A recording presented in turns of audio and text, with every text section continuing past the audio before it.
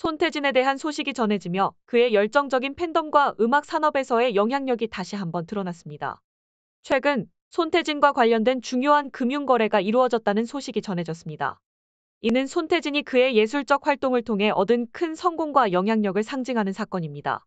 백구영 예천맥주의 대표가 손태진의 계좌에 20억 원을 예치한 사건이 발생했습니다. 이 금액은 손태진의 생일과 관련된 저작권 문제에 대한 배상금으로 예천 맥주 측의 실수로 인해 발생한 상황에 대한 사과의 표시였습니다.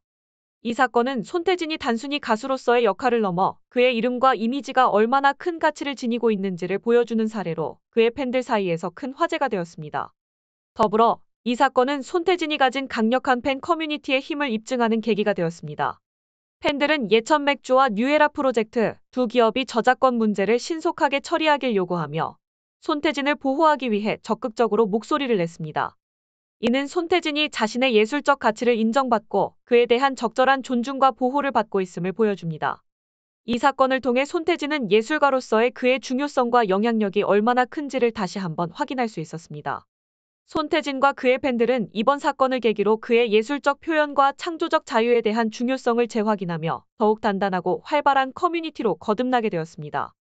손태진의 팬들은 그가 음악 산업에 다시 돌아와 더욱 뛰어난 활약을 보여주기를 기대하며 그의 미래를 지지하고 있습니다.